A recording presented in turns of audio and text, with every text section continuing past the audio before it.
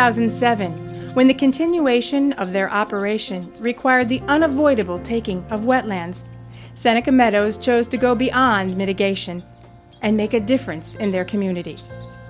The Seneca Meadows Wetlands Preserve is a vast conservation area comprising nearly 600 acres of diverse wetland communities and is the habitat for countless species of birds, animals, and amphibians. We decided to forego the standard 3 to 1 wetland mitigation ratio and instead dedicated over 8 times the required acreage. A large area of high quality wetlands will benefit the local ecology far more than one with limited acreage. In addition to the preserve land, we dedicated another 500 acres of high quality wetland, bringing the total conserved acreage to over 1,100 acres. The project is so large in scale, it allows us to create everything we could dream of. The diverse ecosystem includes hundreds of species of plants and countless birds, insects, and mammals. The preserve features seven miles of hiking trails, open year round, and is connected to a nature center that offers environmental programming to the community. Imagine spending a day following deer tracks in the snow, discovering the shy jack in the pulpit in the spring, sitting at the edge of the woods listening to a symphony of summer birds, or laying on a grassy meadow in the fall, surrounded by trees with colorful foliage, watching a red tailed hawk circle overhead. What's unique to our preserve is the vast section of created wetlands. Nearly 450 acres of the preserve have literally been built from the ground up, and as you can see, is already a thriving ecological community. The remaining 150 acres consisted of existing wooded wetlands that would require strategic enhancements to improve biodiversity. The enhancement effort seemed straightforward enough. Manage the vegetation by seeding and planting to create a healthier ecosystem and promote a greater diversity of wildlife. Along the woodland edge here you'll find early successional species such as ash trees, red maple, cottonwood, and cherry. These trees will move out into what used to be existing grassland and wetland, and behind those will follow oaks and hickories. We try to accelerate this process by planting these trees behind us. We have red maple, swamp white oak, and then in the understory we have silky dogwood and spicebush. Now some of these trees and shrubs were planted and seeded by us, but others were planted and seeded by Mother Nature. Existing woodlands are left in a natural state. If a tree falls down, we leave it for habitat. The wetlands creation portion of the project was a far more complicated process. The design called for a variety of wetland types, including emergent, wet prairie, wet mesic prairie, mesic forest, forested wetlands, and upland savanna. Each has specific grasses, flowers, and trees, and specific moisture requirements. For example, shagbark hickory, bur oak, and white oak thrive in the well drained mesic prairie, while red maple and swamp white oak prefer the forested wetlands. Some types need more sunlight. Some need to be separated from other wetland types.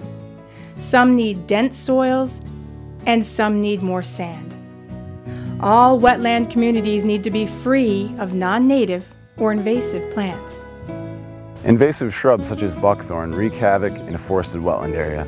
They're vigorous growers and they outcompete and outshade native species, degrading the habitat. Eradicating buckthorn out of our forested wetland areas was the number one priority for us. We use herbicides to target invasive species such as reed canary grass to prevent them from spreading and outcompeting native species such as black-eyed Susans, other sedges, and rushes. Sometimes we had to reshape the landscape to provide for the needs of different types of wetlands. Since the land was previously used as farm fields, it was relatively flat and embedded with drainage tiles to keep water from flooding the fields. But we wanted the moisture, so we disabled existing drain tiles and blocked ditches, built up berms in some areas, lowered the landscape in others, and dug ponds we created riffle weirs to oxygenate streams and hold back water as needed. As we lowered some areas, we exposed glacial sand, deposited over 10,000 years ago, that provided dens for foxes. On one esker, their dens looked like Mother Nature's condominium village.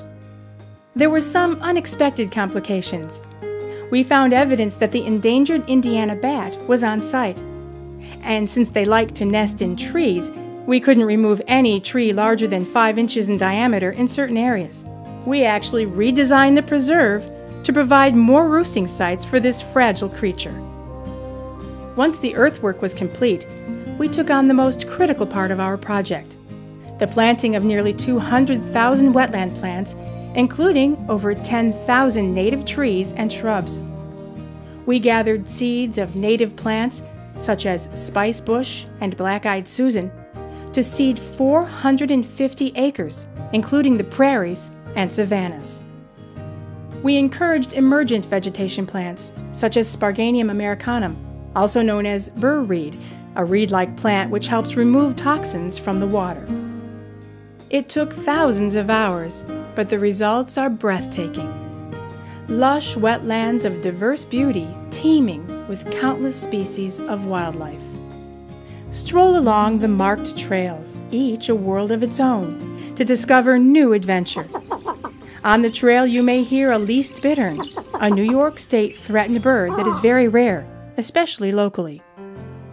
Pause on one of our natural hickory benches to listen to a symphony of birdsong the melodic sparrow and thrushes, the call of the red winged blackbird, the coo of the mourning dove, the raucous blue jay, the whistling cardinal, the saucy chickadee, the high pitched killdeer. Track the calls of the many species of ducks and wild geese as they fly overhead. Let your spirit soar with red tailed hawks and osprey. If you're very still and very quiet, you might spot the elusive white tailed deer, wild turkey, and red or gray fox as they go about their daily life. In the soft mud along the shore of the two large ponds we created, you'll see tracks of wild turkey, deer, raccoons, and other wildlife. Nature preserves require perpetual care since this property will be conserved forever, Seneca Meadows needed to find a permanent steward. The National Audubon Society was a perfect fit. Audubon's mission is to conserve and restore natural ecosystems, focusing on birds, other wildlife, and their habitats for the benefit of humanity and the Earth's biological diversity. Our commitment to conservation began over 100 years ago and our goal is to continue that commitment while connecting people to nature. Once Seneca Meadows landfill is no longer in operation, Audubon will assume the care and management of this wetlands preserve, ensuring that this beautiful habitat retains its ecological vitality forever. It's exciting for me to think about future generations coming here 50 years from now and enjoying this beautiful ecosystem we've created. It's our privilege to welcome you here, to learn about nature and why conservation and a green lifestyle are so important. We want to help you to gain an appreciation of the rich tapestry of our native plants. We hope to share our love of this land with future generations so they will continue to conserve it forever.